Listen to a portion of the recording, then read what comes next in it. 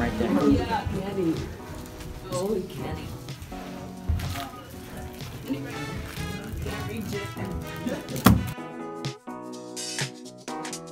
All right, let's find out who's here. So tell me the church you're from and how many you brought. Um, we're Lighthouse Baptist Church Booth Group. Yeah, we brought um 15. Oh, okay. And what church are you from? Oh, um, we're from Uh, we're from uh, First Baptist Church of Inglewood, and we brought 17. Yeah!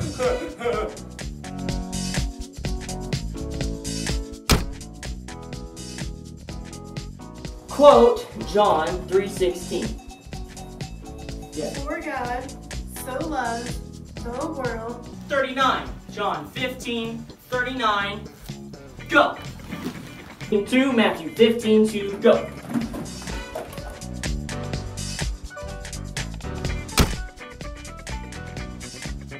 Elbows all the way locked. Bibles up.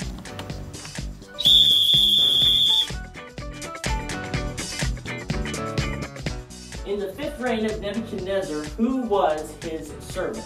Go. Exodus 13:2. Exodus 13:2. Go.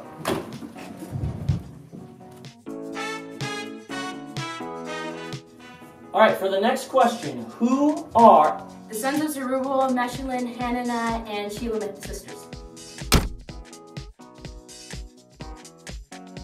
We're gonna do the sword drills now. Uh, if you have the verse I call out memorized, you can just stand up and quote it. You don't have to find it in the Bible. So here's the first one. Zephaniah 2 4. Zephaniah 2 4, go. For Gaza shall be forsaken, and Askelon a desolation. 16, go. And behold, one came.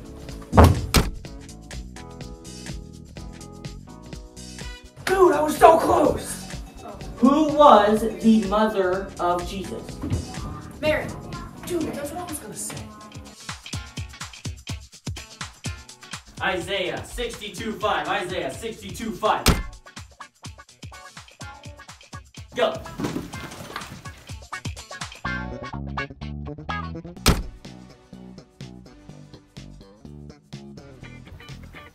Swords up. Matthew 15 5. Matthew 15 5. Go.